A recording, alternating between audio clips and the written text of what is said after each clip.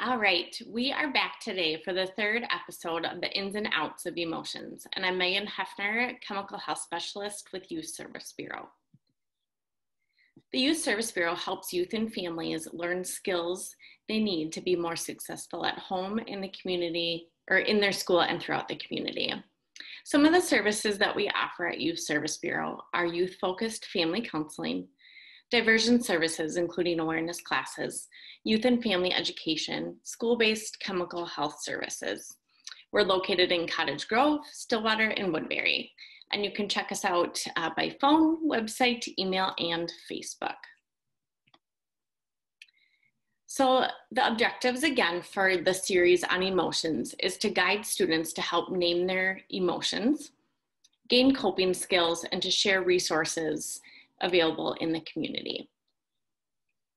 I want to just touch again on the important basics of emotions um, because it really all comes down to these couple uh, bullet points here. Um, so all emotions are okay. It's how we express them that matters. We all feel and express emotions differently. Emotions can be triggered by something happening inside of you or outside of you. Emotions come in different intensities it is possible to experience more than one emotion at the same time, and everyone needs to work on regulating their emotions, even us adults. So today we're gonna go into coping skills. And really, coping skills are learning how to first express our feelings and then learning to regulate them. Because after children learn how to identify and express their emotions, they can then regulate them, allowing them to have control over impulses and behaviors. So right now we're gonna go into a video um, about the importance of expressing your feelings. And parents, this is more geared uh, to your viewing, but you can certainly take this information and uh, teach it to your child.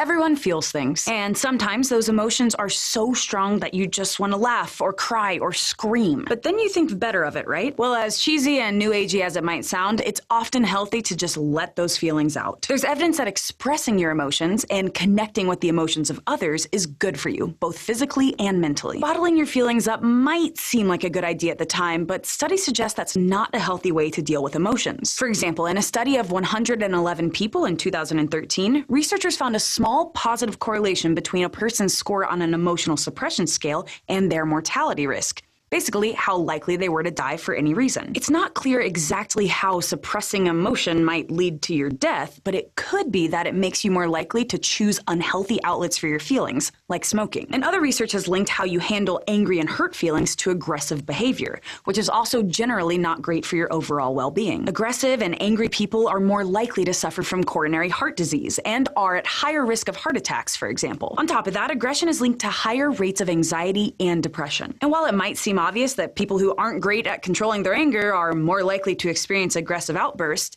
it turns out that folks who try to suppress their angry feelings too much can also end up being more aggressive. Researchers think this might be because suppressing your negative feelings makes you feel worse in the long run, which in turn makes it harder for you to make good decisions and pushes away the people who care about you. And other studies have connected emotional expression, or lack thereof, to all sorts of things that can influence your health and relationships, like anxiety and stress or risk taking And it's not just about how often you're laughing or crying.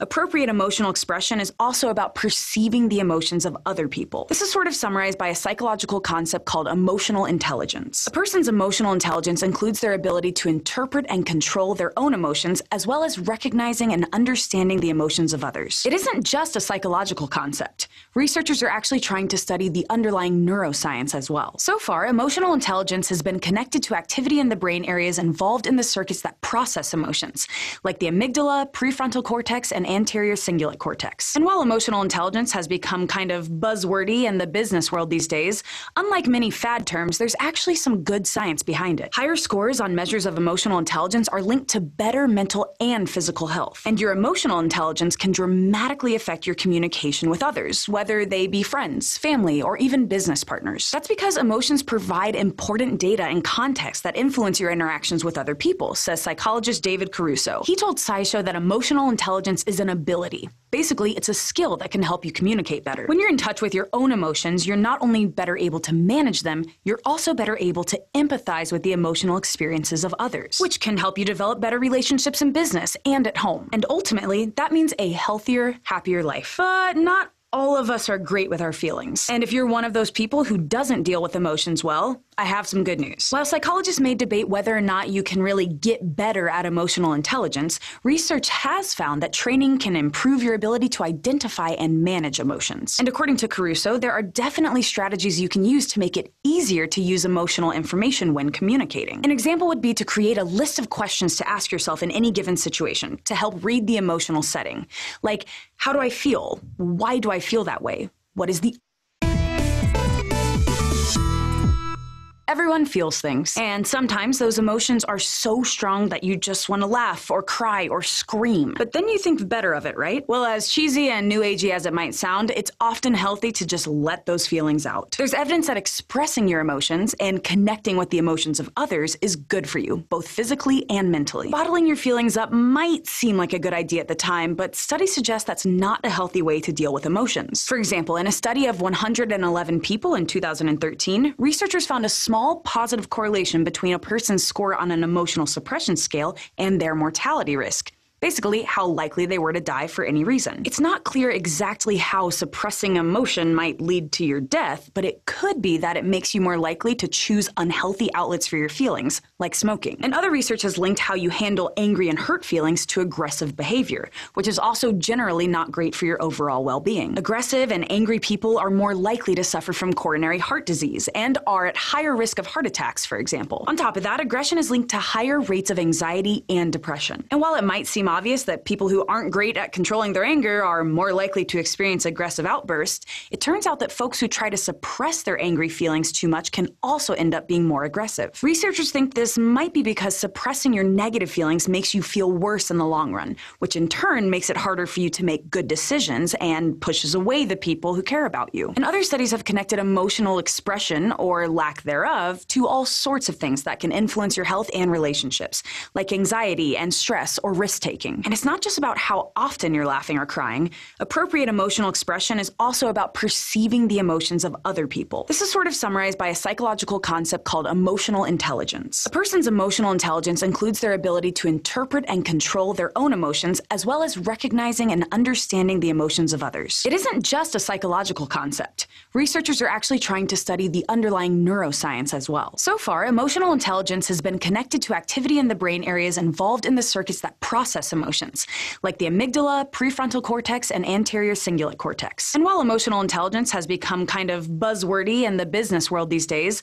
unlike many fad terms, there's actually some good science behind it. Higher scores on measures of emotional intelligence are linked to better mental and physical health. And your emotional intelligence can dramatically affect your communication with others, whether they be friends, family, or even business partners. That's because emotions provide important data and context that influence your interactions with other people, says psychologist David Caruso. He told SciShow that emotional intelligence is an ability. Basically, it's a skill that can help you communicate better. When you're in touch with your own emotions, you're not only better able to manage them, you're also better able to empathize with the emotional experiences of others, which can help you develop better relationships in business and at home. And ultimately, that means a healthier, happier life. But not all of us are great with our feelings. And if you're one of those people who doesn't deal with emotions well, I have some good news. While psychologists may debate whether or not you can really get better at emotional intelligence, research has found that training can improve your ability to identify and manage emotions. And according to Caruso, there are definitely strategies you can use to make it easier to use emotional information when communicating. An example would be to create a list of questions to ask yourself in any given situation to help read the emotional setting.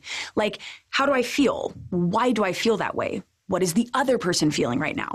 And then use that information to help you make decisions. You can also work on your emotional vocabulary and think carefully about the words you're using. Rather than saying that you hate broccoli, which indicates a very strong emotion, try saying you dislike it instead. This prevents overusing strong emotional words, which can take away from their meaning. And as Caruso pointed out to us, sometimes it's a good thing to do a little suppressing. Not all emotions are appropriate for all situations, and being able to navigate emotions in a social or professional setting is part of this important skill. But emotions are an unavoidable part of life.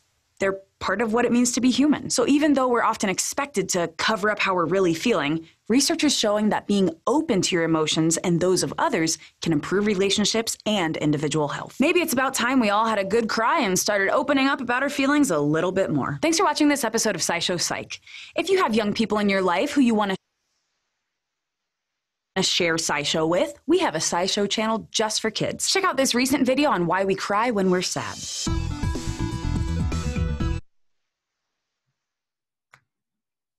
So as the video stated, it's really important for us to learn how to express our emotions, not only for our own health, but our, the health of our relationships, um, and just being able to better cope um, with stressful situations. And so, um, our job as parents are to help our children, one, as we talked about in the earlier videos, how to identify, name those feelings, but then learning how to express them in healthy, helpful ways.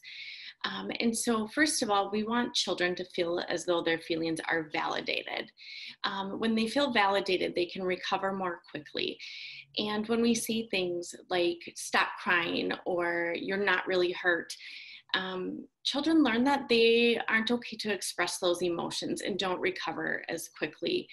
Um, and so then, um, next, we need to remember that our job is to remember um, that it's our job to listen and not to solve their problems.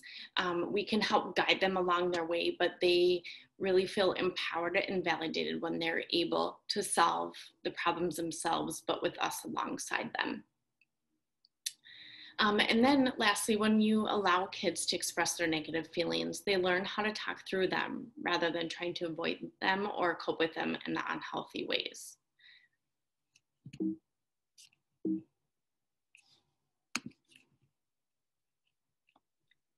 Um, as I see um, in my work as a chemical health specialist, a lot of kids learn um, to avoid or cope with their feelings in negative ways.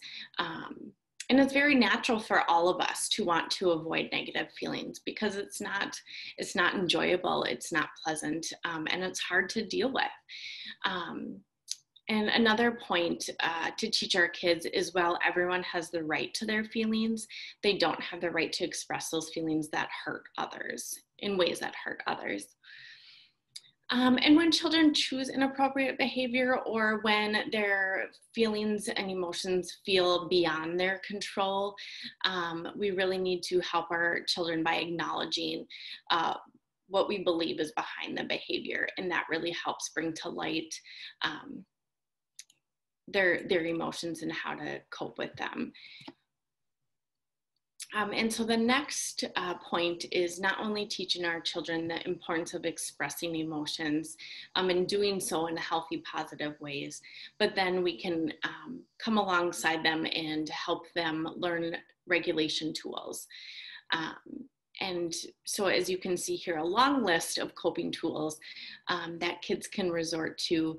Um, but spend time with your kid and make a list of, of what helps them when they're feeling sad, when they're feeling mad, when they're feeling out of control or anxious. So sit down with them and make a list together and then post it. It can be posted around the house. Um, they can carry one to school or in their backpack or in their wallet. Um, and so they can have those tools ready when they when they need to when they're starting to feel um, big feelings.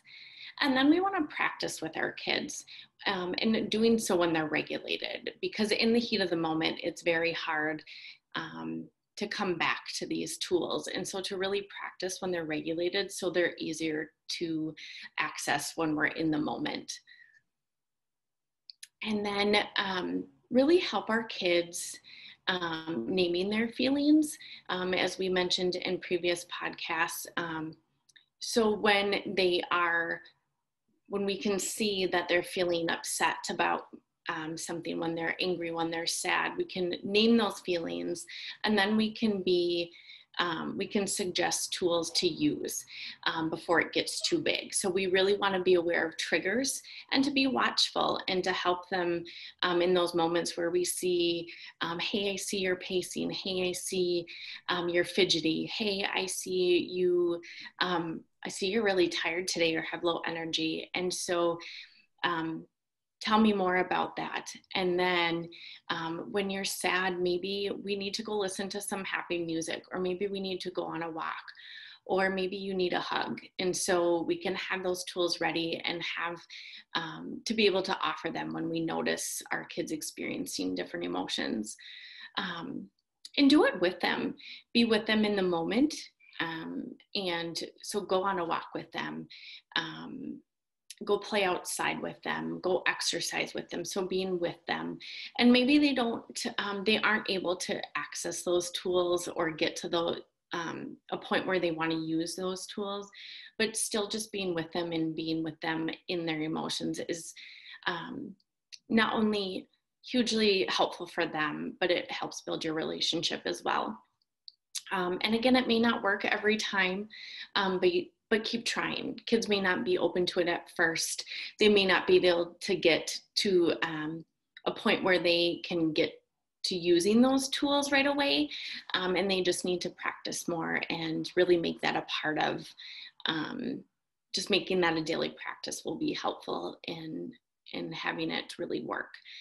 Um, and then lastly, help kids learn how to repair their relationships. So, whether it's sitting with a kid and practicing how to apologize or accepting apologies, it will make a really huge difference. Um, and it may even, hey, let's pick up this mess together. Or when you got mad and you punched that wall, we need to fix it, but we'll do it together. Um, and again, it will teach them to do that repair and it will build your relationship at the same time. So another fun uh, video that you can go uh, watch with your kids is um, the emotion segment from Storybots that many of our kids might be familiar with. Um, and it's just a fun video about um, different emotions and songs that go along with it and some um, some real life kids and uh, their thoughts on different emotions and what helps. Um, and so after um, today, after watching this podcast, what you can do is sit down with your um, child and one go through the you know list of coping skills or create your own. Um, and then tie them to emotions. And so um, you can sit down and say, hey, when you're feeling anger, what would be helpful for me as your mom or dad or um, caring adult in your life? What can I do to help? What can I suggest? What would be helpful? And so go through each of those and really sit down with them and, um, and create a list and create um, a toolbox to, um, to go to in the moment. Um, and some additional books that you can check out at your library. Um, that one talks about emotions, but it goes a step further in talking about what we can do when we're feeling uh, dysregulated or feeling those big emotions.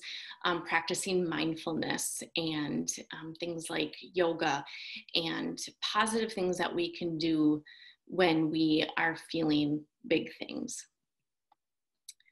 Um, and then um, not only could you check out some books, but there's also some free websites and apps that you can um, hook your kids up with. Um, some common ones are Calm or Headspace or Go Noodle Flow. Um, and those are really fun to do with kids too and give them a visual and um, get their bodies involved. And lastly, um, just uh, check us out on YouTube, subscribe to the YouTube channel, um, and learn more from YSB. Um, spread the word to others in your community um, and in your relationships. Um, just share what you've learned um, and stay tuned for the last podcast on emotions.